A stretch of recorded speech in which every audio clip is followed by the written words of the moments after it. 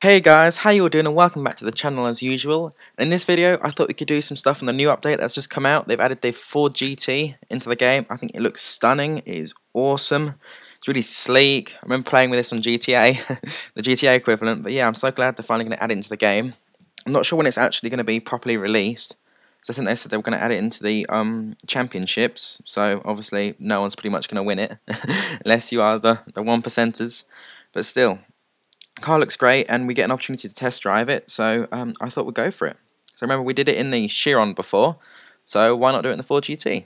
So it says we got three uses. That's one thing I missed last time. I thought we could get infinite uses, but no, we only got three goes. So uh, yeah, let's go for it. Right, the, oh, we covered the fuel. Cool. I just realised I only had one fuel left. That's good.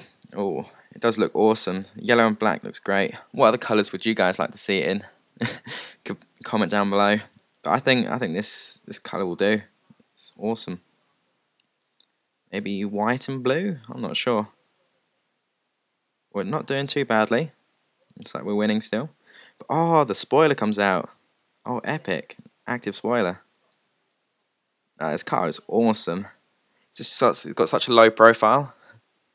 It's really cool. But it's going to be super fast as well when it upgraded. But look at that. Oh, that's awesome. Right, we've got two goes left. I'm going to make the most of them.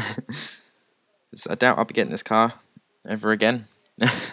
or like in the um, the daily battles? It's going to be the only other chance I get to drive it.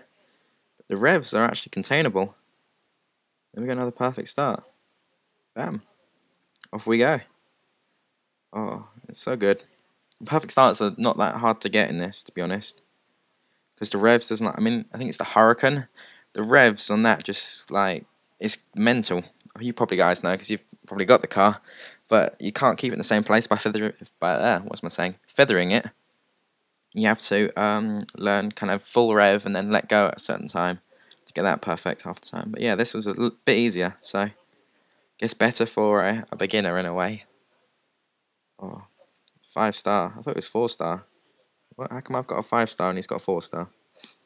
Makes no sense. Anyway. oh, it's really cool.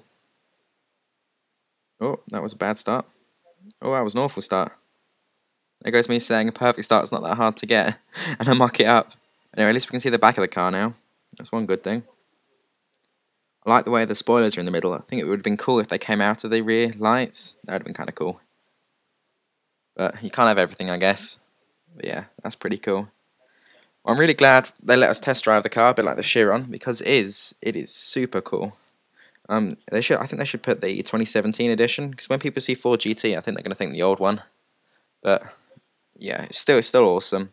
See, it says four star. It gave me a five star car before. Really, really weird. But yeah, that's kind of been it, guys. I hope you enjoyed. If you did enjoy, please drop a like, or if you're new, please subscribe. Always do CSR content hopefully get this car in the future to do some tunes for it, but I really doubt it. But my overall verdict for the car is it's awesome, looks cool, drives fast, all that good stuff. If you guys want to post your verdicts in the comment below, please go ahead. And yeah, I'll see you in the next one.